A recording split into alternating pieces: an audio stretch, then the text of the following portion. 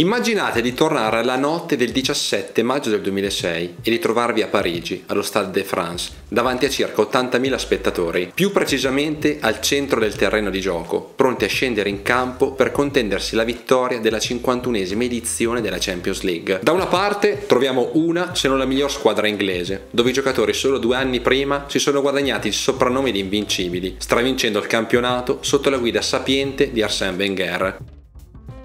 Un gruppo formato da numerosi campioni, come Sol Campbell, Cesc Fabregas, Robert Piret, ma soprattutto dal suo leader tecnico e trascinatore, che risponde al nome di Thierry Henry.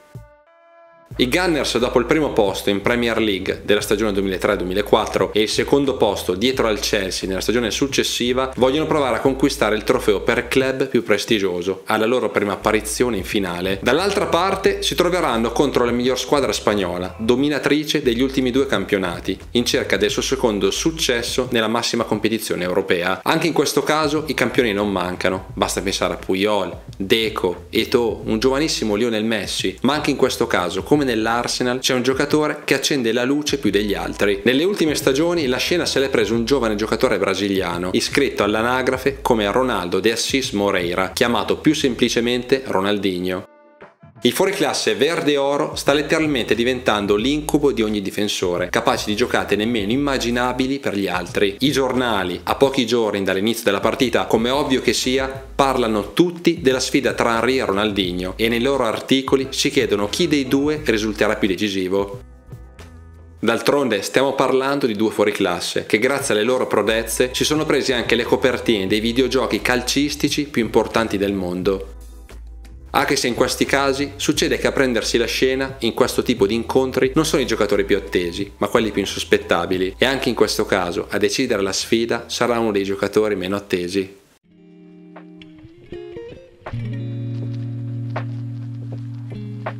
Per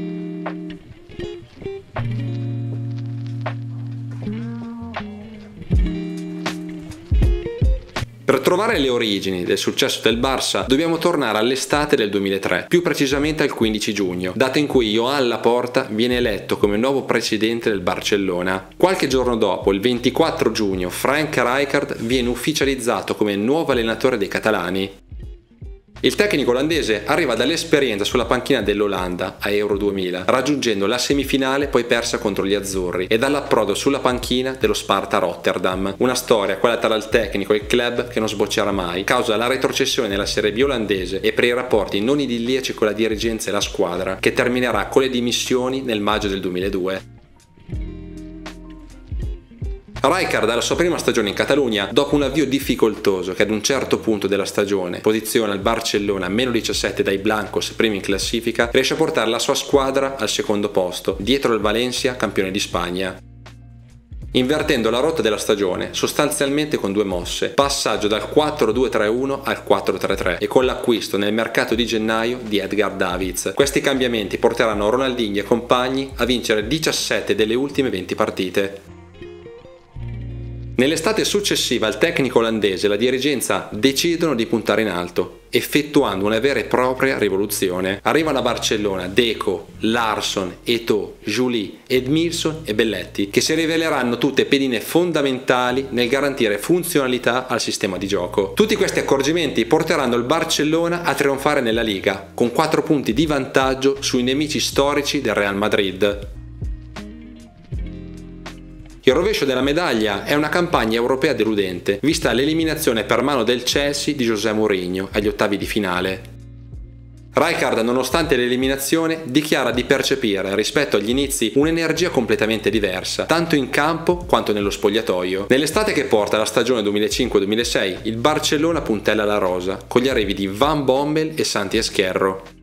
Il cammino che porterà la squadra di Frank Rijkaard alla finale di Parigi inizia ai gironi, dove il Barça viene sorteggiato nel girone C, insieme al Werder Brema, al Panathinaikos e all'Udinese, guidata da Serse Cosmi. Gli spagnoli fanno loro esordio in Germania contro il Werder Brema, uscendo vittoriosi per 2-0, grazie alle reti di Deco e Ronaldinho su rigore. Sono senza storia anche le successive partite. Unico neo sarà il pareggio per 0-0 in Grecia contro il Panathinaikos, che non permetterà ai Blaugrana di chiudere il girone a punteggio pieno. I catalani termineranno la prima fase del torneo al primo posto con 16 punti, 16 gol fatti e solo 2 subiti.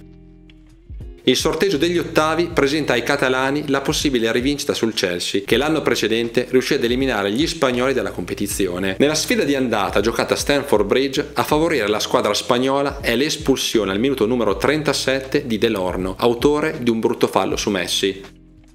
Tutto ciò non scoraggia il Chelsea, che trova addirittura il vantaggio con l'autogol di Tiago Motta, dopo gli sviluppi di un calcio piazzato. Il Barcellona reagisce e trova il gol del pareggio sempre con un autogol, su sviluppi di calcio da fermo. Questa volta sarà John Terry a mettere la palla nella sua porta, battendo un incolpevole Peter Cech. Il gol della vittoria arriva con Eto'o a 10 minuti dal termine, che con un gran colpo di testa batte il portiere dei Blues per la seconda volta. La sfida di ritorno vedrà i giocatori del Barcellona dominare buona parte del match, ma anche il Chelsea riuscirà a rendersi pericoloso in più occasioni. Arrivati alla parte conclusiva della sfida, la tensione, anche per ciò che è successo l'anno prima, sale sempre di più. A distendere gli animi dei tifosi ci pensa il fuoriclasse brasiliano, con un gol dei suoi, che fa esplodere il Camp Nou, slalom speciale e destro rasoterra. A negare la vittoria finale sarà il rigore di Lampard, segnato quasi allo scadere, che in termini di passaggio del turno non cambia nulla, regalando la rivincita al Barcellona. Ai quarti di finale tocca al Benfica di Fabrizio Miccoli sfidare i campioni di Spagna.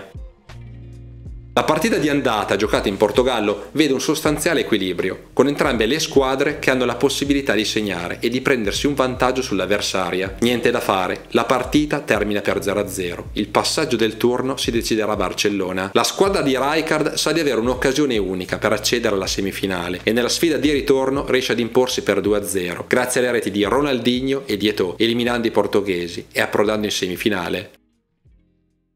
Nella loro personalissima scalata verso l'Olimpo, gli uomini di Rijkaard devono affrontare una delle squadre europee più forti e complete. Il Milan di Carlo Ancelotti è reduce dalla cocente delusione dell'anno precedente, che ha visto la squadra rossonera perdere una partita a dir poco incredibile contro il Liverpool di Rafa Benitez. Perciò, dopo quanto accaduto, le motivazioni di rifarsi per i rossoneri sono altissime. A detta di molti, questa sarà una finale anticipata tra due delle squadre più forti del mondo.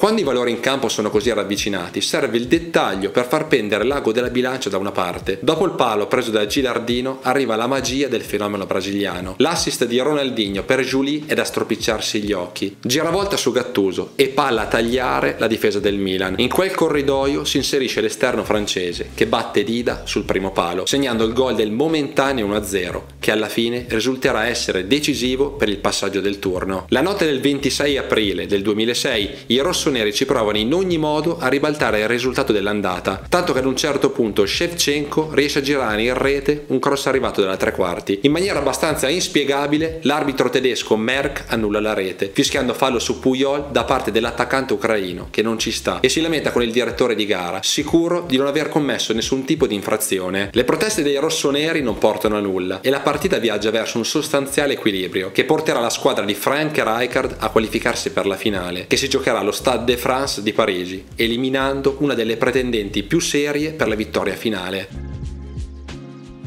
Il Barcellona incontrerà nell'atto conclusivo del torneo l'Arsenal, che nel suo percorso è riuscito ad eliminare il Real Madrid, la Juventus e in semifinale il Villarreal di Richelme.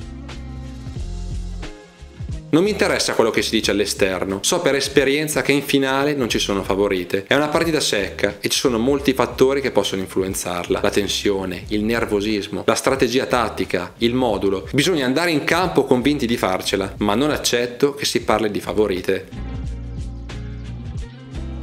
La sera del 17 maggio del 2006, dopo giorni di attesa, si gioca la finale della 51esima edizione della Champions League e gli occhi sono tutti puntati su due giocatori più forti del momento. A partire fortissimo è l'Arsenal di Wenger. Al re impegna subito Victor Valdés, che a tu per tu con il francese salva un gol già fatto. I Gunners creano altre occasioni da gol, ma la partita al minuto numero 17 prende una strada ben definita. Ronaldinho mette in porta, nel vero senso della parola Eto'o, che sposta il pallone prima che Lehmann possa intervenire. Il portiere tedesco stende l'attaccante camerunese al limite dell'area. L'arbitro norvegese Auge non può far altro che espellere l'estremo difensore, lasciando l'Arsenal in 10 per il resto del match. Episodio che non sposta di un millimetro la voglia di vittoria finale da parte dei ragazzi di Wenger, che al minuto numero 37 passano in vantaggio con un colpo di testa di Saul Campbell, grazie ad un assist perfetto di Henry. Il primo tempo si chiude sul risultato di 1-0 per l'Arsenal, in inferiorità numerica. Per il Barcellona c'è da segnalare il palo di Eto'o, quasi allo scadere. A cambiare la partita sono i cambi fatti dal tecnico olandese, che fa entrare in campo Iniesta, Larson e Belletti. La mole di gioco del Barcellona cresce sempre di più con il passare del tempo, ma è l'Arsenal ad avere le occasioni più nitide per chiudere i conti. C'è un vecchio detto che dice gol sbagliato, gol subito. Mi correggo, più che un detto, questa potrebbe essere una regola. Al 32esimo arriva la grande giocata di Larson, che porge una palla d'oro a Eto'o, che insacca a rasoterra tra palo e portiere. Come nelle scene finali dei film inizia a piovere a dirotto su Parigi. Il Barça è un fiume in piena, l'Arsenal fisicamente e mentalmente è al limite delle sue forze. In questo momento entra in scena uno dei giocatori meno attesi, nemmeno titolare ad inizio partita. Larson fornisce il suo secondo assist di giornata, questa volta per il terzino destro Belletti, che si presenta davanti ad Almunia e lo fredda con un tiro che passa sotto le gambe del portiere dei londinesi. Gli ultimi minuti della partita servono solo per congelare il pallone da parte degli spagnoli, che al triplice fischio vincono la loro seconda Champions League, che mancava da ben 14 anni dalla loro bacheca.